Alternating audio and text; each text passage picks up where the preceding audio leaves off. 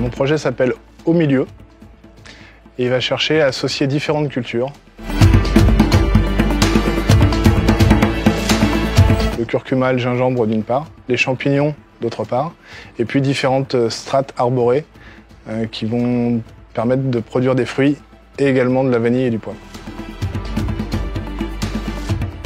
Alors il y a deux aspects. Il y a d'une part l'économie circulaire qui va permettre d'utiliser des déchets qu'on va utiliser comme ressources. C'est le cas par exemple pour les champignons.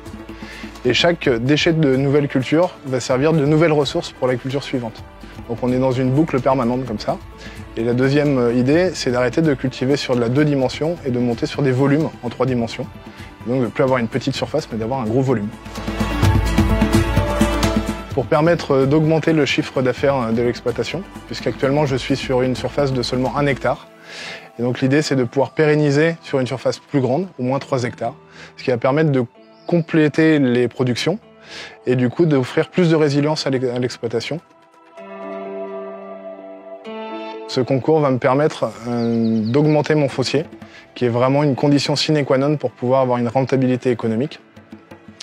Et puis ça va permettre également d'aller chercher des compétences, notamment pour la culture des, champignons où il faut vraiment des compétences techniques euh, très particulières, et de pouvoir agréger autour du projet euh, tout un écosystème de, compétences avec des chercheurs, avec euh, d'autres producteurs pour pouvoir mutualiser euh, toutes ces compétences et montrer que l'agroécologie peut fonctionner en Guadeloupe et qu'il est vraiment nécessaire de la mettre en place maintenant et que ça fonctionne.